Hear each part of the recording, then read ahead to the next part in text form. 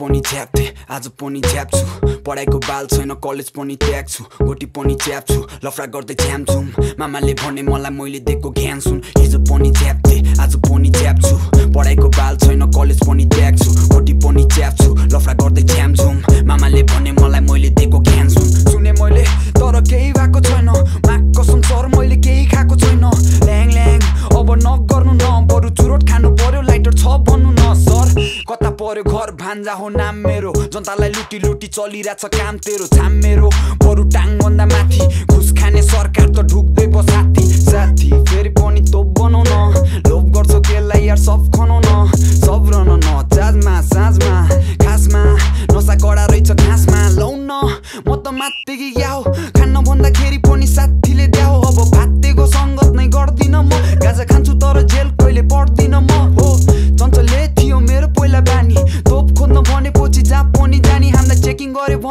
कसलाई हुन्छ हानि किनकि. हिजो पनि च्याप्थे आज पनि च्याप्छु पढाइको बाल छैन कलेज पनि त्याग छु गोटी पनि च्याप्छु लफडा गर्दै छ्यामछुम मामाले भने मलाई मैले दिएको सुन हिजो पनि च्याप्थे आज पनि च्याप्छु पढाइको बाल छैन कलेज पनि त्याग छु गोटी पनि च्याप्छु लफडा गर्दै राति चौकी अघि गाँजा खाने केटा पनि मै हो मै ल भइगयो तैँले गर्न सक्ने केही होइन। खानेले खाएल छन् नि तेरो बाउको कायदा छैन झ्याक्ने तेरो बासातिर ब्याग दे चलाउनलाई पैसा छैन खाली ब्याग नि फ्याँक दे चिकन डिनर खाने गर्छु केही हुँदैन ल्यागले। मिलाउँदिन कपाल सपाल मनी हिँड्छु झ्याप्ले। बाफ्रे मलाई हेर्दा केटी दङ्ग।